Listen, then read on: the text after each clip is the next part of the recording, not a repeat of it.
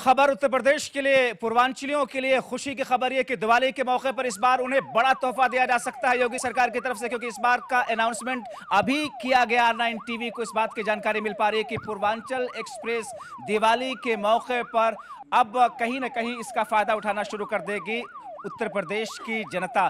ज़ाहिर तौर पर जिस तरीके से इस पूर्वांचल एक्सप्रेस को लेकर के पिछले काफ़ी वर्षों से बातें की जा रही थी, मगर अब यह कहा जा रहा है कि इस पूरे मामले को लेकर के, अंतिम पड़ाव में फ़ायदा उठाने को लेकर के अब जनता उस स्तर पर है जहाँ से योगी सरकार का तोहफा दिवाली के मौके से शुरू हो जाएगा।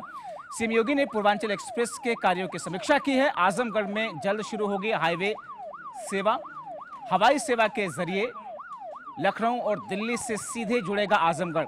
तो आजमगढ़ के लोगों के लिए एक बड़ा फ़ायदा और कुछ इस तरीके से कहीं ना कहीं एक बड़े अनाउंसमेंट की बात कही गई है। मुख्यमंत्री योगी आदित्यनाथ दिवाली के मौके पर यह बड़ा तोहफा उत्तर प्रदेश के लोगों को दे सकते हैं।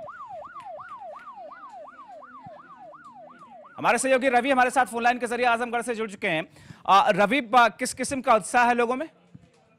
जी बिल्कुल जिस तरह से मुख्यमंत्री का जो आज हवाई दौरा रहा और उसके अलावा जिस तरह से उन्होंने जानकारी दी लोगों में एक उत्साह है कि पूर्वांचल एक्सप्रेस वे जल्दी ही यहाँ दीपावली तक चालू हो जाएगा।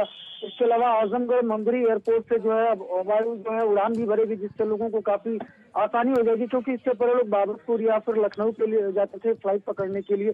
तो उनमें यह भी उत्साह है कि उन्हें आजमगढ़ से वो अपनी उड़ान तय कर सकेंगे। इसके अलावा लोगों को यह उम्मीद है कि अर्थव्यवस्था यहाँ मज़बूत होगी रोज़गार के मौके मिलेंगे ट्रांसपोर्टेशन अच्छा रहेगा।